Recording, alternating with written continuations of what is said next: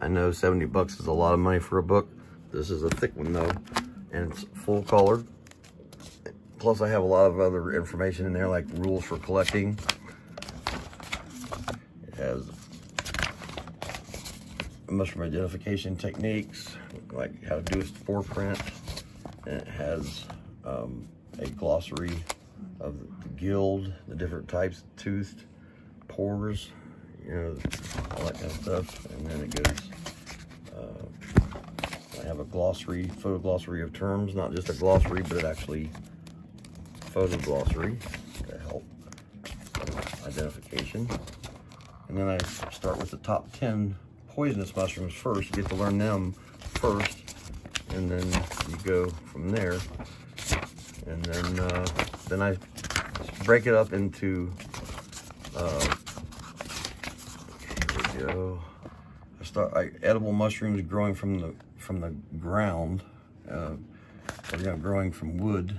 Um, anyway, in, in any event, I have them broken down into spring, summer, fall, and winter, and then I have them breaking broken down into where they're growing from wood or uh, dead wood or or stumps or or logs, and then uh, growing from the ground, um, growing from grass and uh, mulch, and, and so they're all separated. So when you find something, you can go right to growing from you know what time of year you're finding it, and how you found it on a log or whatever, and, uh, often have lots of you know numerous pictures of one species, not just like one field guide that has a picture. This has all the different variations and and uh, anytime there's a, a poisonous uh, look-alike, there'll be pictures of those as well, uh, like that one right there.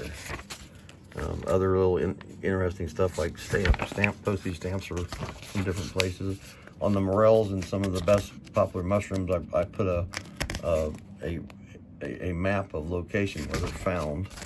Um, then I have different indicators. I also have no, like number one on the on the food. It means it's absolutely the best choice mushroom. There's difficulty factor from one to ten. It's a harder mushroom. Back in here, like that one's difficulty four, difficulty two. So it has all this stuff. Has this uh, broken down in the blue underneath the picture is the spore prints, the flesh, how how to preserve them if they dry or freeze well, etc., etc. So they have medicinal information as well on each on the medicinal mushrooms.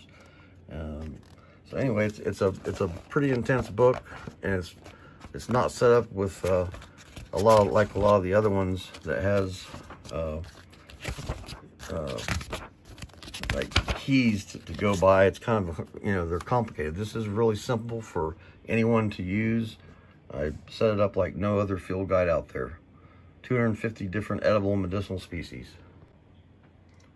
To order, you just go to morelmushroomhunting.com and then click on shop products, sort it by latest.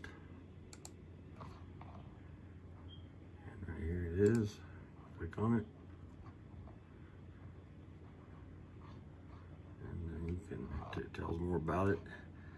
And uh, you can, you can add it to cart or pay with PayPal, credit or debit, and free shipping right now.